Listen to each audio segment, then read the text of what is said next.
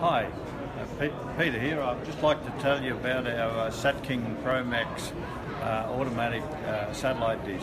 It's so easy to use. All you do is get the controller, push the find button on the controller, and it'll go up, find the satellite, and uh, and then you'll be watching TV in no time flat. Yeah. Takes 12 volts, and uh, you need a decoder